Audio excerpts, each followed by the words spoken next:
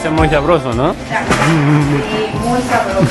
Estamos cocinando a pollo, tostado, frijoles, a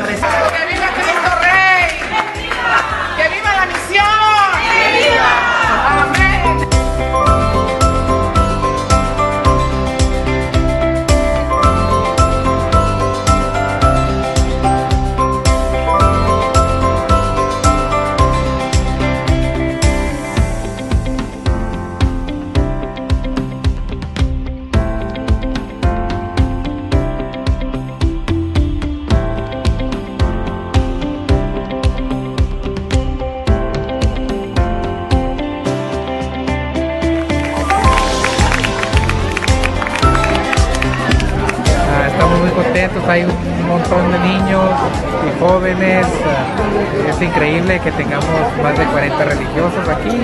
Estamos muy felices yo y mi esposa de estar aquí. Pues no, es lo mejor que nos puede haber pasado a nuestras hijas. Y esperemos que sean monjas.